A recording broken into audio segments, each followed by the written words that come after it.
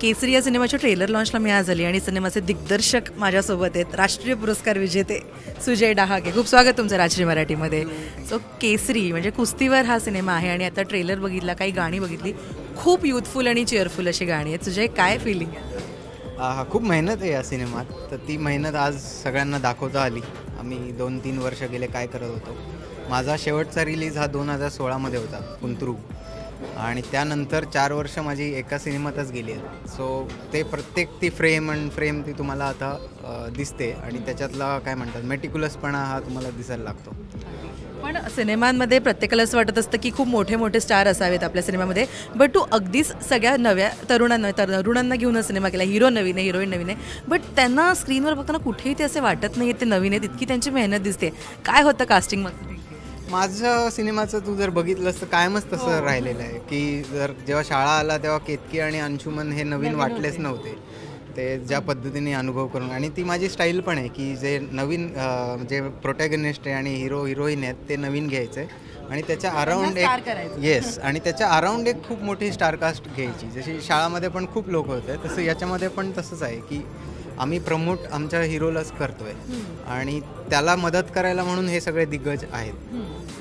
पण जसं तू आता म्हणालास की तू सगळ्या नवीन घेतोस बट इतका सुंदर सिनेमा करताना म्हणजे कुस्तीसारखा विषय मांडताना आणि नवीन कलाकार घेऊन तू सिनेमा करतोय तर डिरेक्टरला एक स्वतःचा स्टडी खूप महत्त्वाचा असतो. सुजयची कशी मेहनत आहे? तू चार वर्ष म्हणालास कशी ती सगळी मेहनत होती? जरा फ्लॅशबॅकमध्ये घेऊन जायचं. मला अख्खा हा खेळ शिकायला लागला पहिली गोष्ट. मला त्याचे डाव त्याचे डाव पेज हा कसा माइंड गेम आहे सगळा हा शिकायला लागला. मग त्याच्यातलं फिजिकॅलिटी शिकायला लागल्या. की एखादा पैलवान कशा कशातनं जातो हे मला बघणं गरजेचं होतं. त्यामुळे मी मागच्या दोन चार वर्षांच्या महाराष्ट्र केसरी बघितल्या. आणि प्लस एक स्पोर्ट्स फिल्म बनवायची एक ट्रू स्पोर्ट्स फिल्म बनवायची हा कायम एक मानस होता. आपण कायम मराठीमध्ये अनेक झाल्या आहेत स्पोर्ट्स फिल्म पण त्याच्यातला हिरो हा हिरोच वाटतो. तो स्पोर्ट्समॅन वाटतच नाही कधी. तर तो मला बिलकुल नको होता तो थॉट तर आता तुम्ही बघितलंय तर तुम्ही सांगू शकाल की माझा हिरो हा स्पोर्ट्समॅन झाला आहे का तर ते तर हाच दोनशे टक्के झालं. हाच हाच थॉट होता की अं, त्याला इतकं ट्रेन करावं की कोणी त्याच्यातला डिफरन्सच शोधू नये. अगदी पण मग विराटचं तुला कसं या सगळ्यामध्ये सहकार्य लाभलं? त्याचं नाव बाय द वे खूप छान आहे विराट. त्याचं कसं सहकार्य लाभलं? अं, मला एक तर तो खूप साधा आहे. डिरेक्टर्स ऍक्टर डिरेक्टर्स ॲक्टर आहे. आणि पहिला सिनेमा होता त्याचा. त्यामुळे काही त्याच्यावर बॅगेज नव्हतं. अं, त्याला कॅमेराची सवयी सवय करून घेतली. अं, त्याला त्या सगळ्या ट्रेनर्सकडे पाठवलं. कुस्ती शिकायला. आणि तो जरी आ- असा शरीराने असं असला तरी तुम्ही जर त्याला पर्सनॅलिटी म्हणून भेटलात तर तो खूप शांत आहे. आणि सोज्वळ आहे खूप तो. आणि एकदम सिन्सिअर आहे. भयंकर म्हणजे असं आठवीचा मुलगा दहावीचा मुलगा बोर्डात कसा अभ्यास करतो तेवढा सिन्सिअर आहे तो. त्यामुळे मग म्हणजे त्याची सिन्सिअरिटीजनीच त्याला त्याचे रिझल्ट दिले.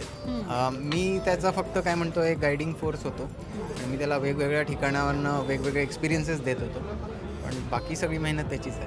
आणि आता सिनेमा तयार झाला आहे ट्रेलर आता प्रेक्षकांसाठी आला आहे अठ्ठावीस तारखेला सिनेमा येईल. एकदा जरा प्रेक्षकांना सिनेमा पाहण्याचं महाराष्ट्राच्या मातीचा सिनेमा आणि महाराष्ट्राची माती म्हणजे कुस्ती हे इतकं छान नातं जोडलेलं आहे. तर माझं सगळ्या प्रेक्षकांना हीच विनंती आहे की हा पहिला सिनेमा आहे असा जो कुस्तीवर एवढ्या डिटेलमध्ये बोलतो.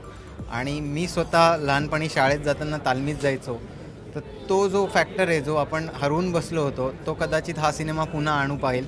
आणि तुमची मुलं किंवा ला आत्ता मुलं किंवा स्पोर्ट्समन जरी बघत असतील तर त्यांच्यासाठी पण हा खूप प्रेरणादायी ठरेल. सो सगळ्यांनी जरूर केसरी बघावा. आपल्या महाराष्ट्राचा मातीचा सिनेमा आहे.